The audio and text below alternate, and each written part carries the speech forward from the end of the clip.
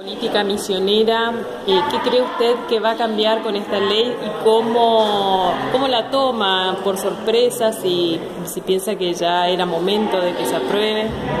Un momento histórico sin duda para toda la provincia, para todas las mujeres de la provincia, para la provincia en general.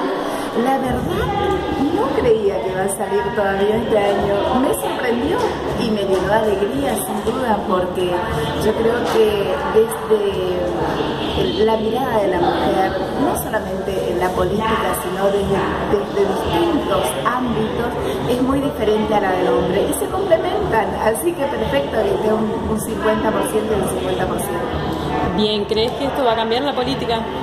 Sin duda que sí sin duda que sí, esto que digo de que la mujer tiene otra mirada, muy diferente a la del hombre. Bien, gracias.